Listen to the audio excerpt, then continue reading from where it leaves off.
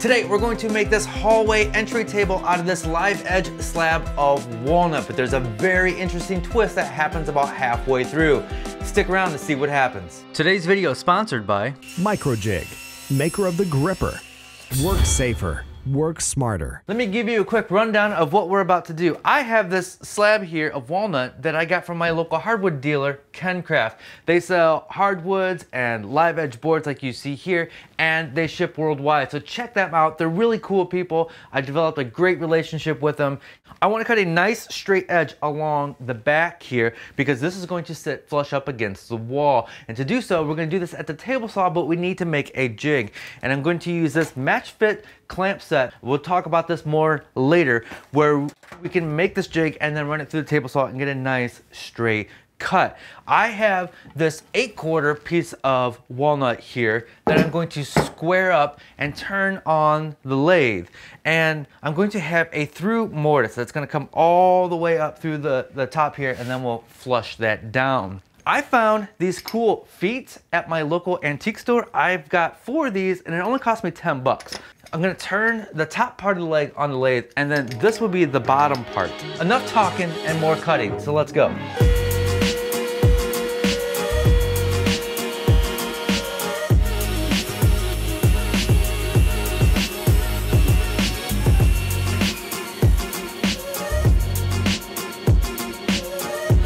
I ran into a safety concern while cutting this on the table saw.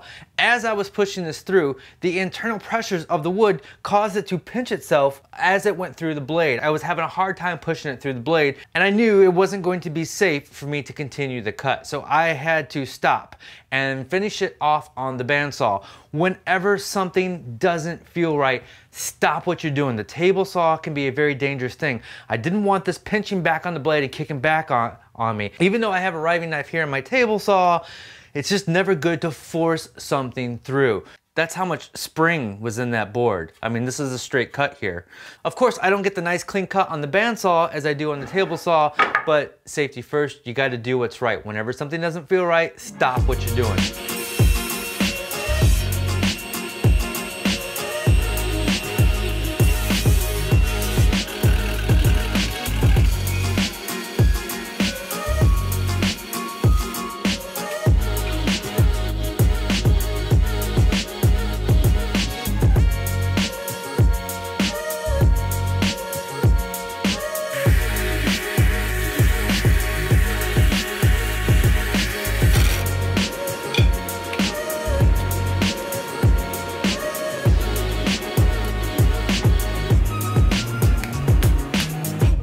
Talk about today's video sponsor, which is Microjig. You've seen me use their GRR-Ripper many times over the past couple years, and today we're going to talk about the Match Fit dovetail clamps. So I made this sled with the ZeroPlay guide bars installed on the bottom, and I routed dovetail grooves here in the top to hold the match fit clamps. And so here's how it's going to work.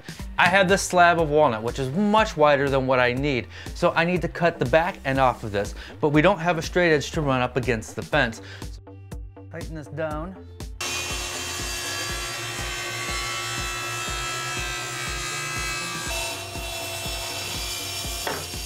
Cool, now we have a nice straight edge on the back of this board. So now that we have that slab cut up, I just wanted to show you more practical everyday use.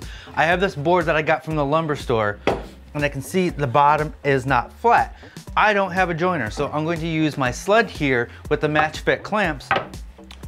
And I know that the edge of this sled rides up right against the blade because the blade cleaned this up when we made the sled. So what I'm going to do is I'm going to have this hang slightly over the edge, make sure all parts are hanging over. And I have my clamps that we just used and you'll see that it doesn't fit because I had this set up for the slab. But the cool thing about these clamps is I can reverse this to overhang this way. How cool is that? So that I can clamp that down and now we're good to go. And there we go. I have a nice, perfect edge on the board here. So I can use this to replace the jointer that I used to have. So there are times when you want to extend the table saw fence so it's taller. The traditional way to do that is to put a piece of wood on there and then clamp it down with some, with, with whatever clamps you have. What happens is when you put them on there, the clamps are in the way. There's a cool solution to this using the match fit clamps. So now we've extended the height of our table saw fence and we have no clamps in the way. A few other ideas you can use these clamps for is extending the height of your bandsaw fence if you have a short fence.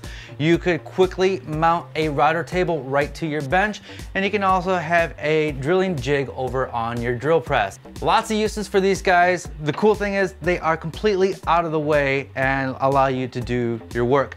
Microjig was nice enough to send me an extra pair of these clamps. I will be giving them away. You can visit the link down below on my website. Now let's get back to making this table. I've decided this is too wide. I wanna make it a little bit more narrow because it is a hallway table and I don't want it taking up a lot of room. So we're gonna make one more.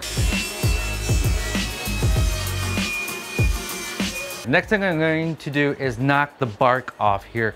Although the bark looks cool, it will have a tendency to like flake off over time and it's just a, it's a dust trap. And so we're just going to get rid of it. Look at that.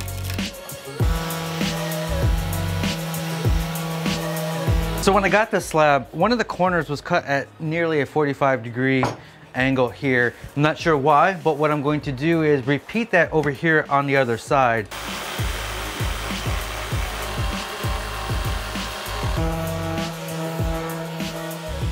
All right, so I have these legs that I found at the antique store. They are an ugly gold, although I do like the vintage look. I like cool vintage look and not ugly ass gold vintage look. So what I'm going to do is I'm just going to sand them down and we're gonna paint them white. And they would be the bottom of these, these legs.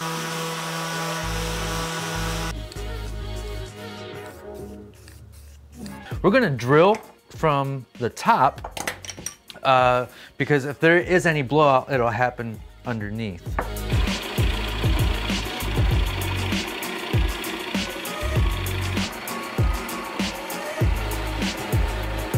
We're going to glue these guys in the holes that we drilled. Now it's a, it's a, it's a pretty good fit. And then when I get some glue on there, that's gonna expand a little bit. It's gonna be nice and solid.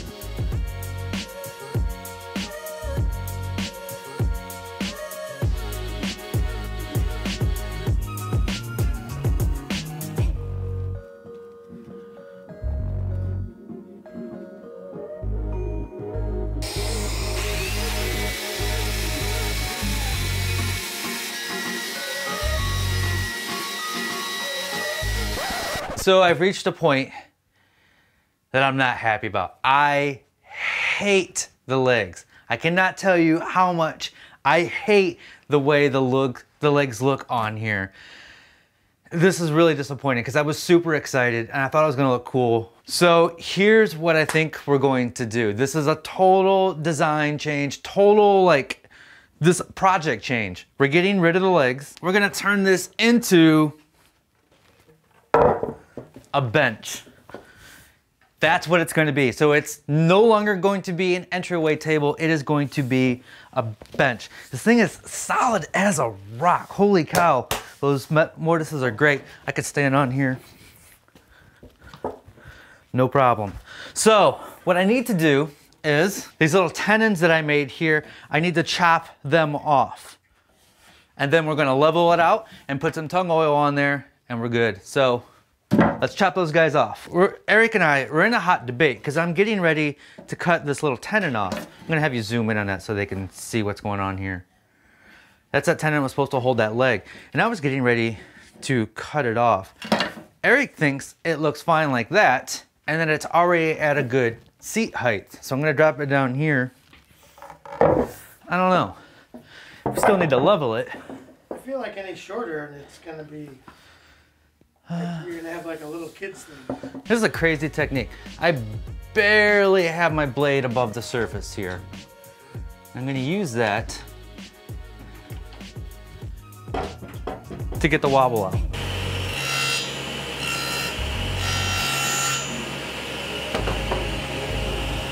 There we go, no wobble.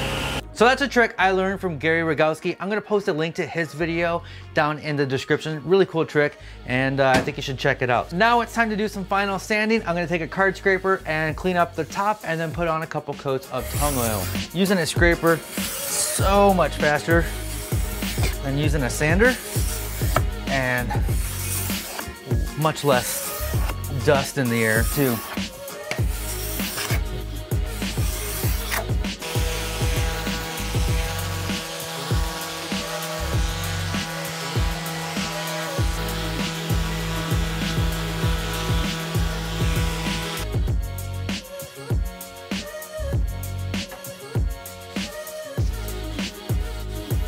Just using tung oil on here.